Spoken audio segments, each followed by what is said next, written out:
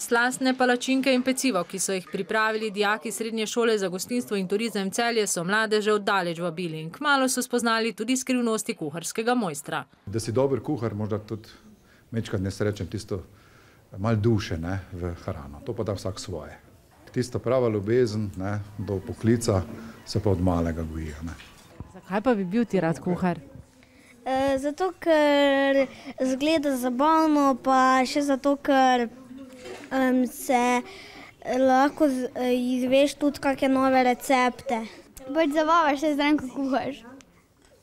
Pa že znaš kaj sama pripraviti? Palačinke pa kavo.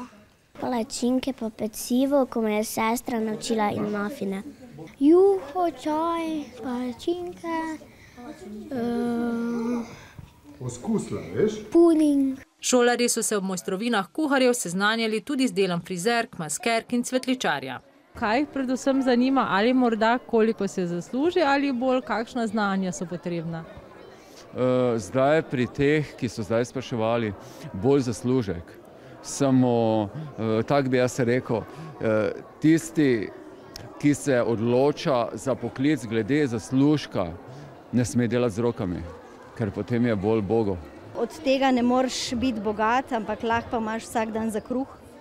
Uh, jaz se tega držim, to me je naučila moja mama. Uh, drugače pa moraš imeti vsaj kanček uh, domišljije in ročnih spretnosti. No. Na šoli sicer že tradicionalno pripravijo sejem poklicev, na katerem pa želijo otrokom predvsem približati tiste, ki jih primankuje. Želimo posredovati to, eh, kar eh, govorijo tudi na Zavodu za poslovanje. Eh, Delodajalci bodo gledali tudi na njihove vedenske lastnosti in tudi delovne navade. Sicer pa si bodo lahko devetošolci bodoče šole podrobneje ogledali 15. in 16. februarja, ko bodo ob informativnih dnevih šole na široko odprle svoja vrata.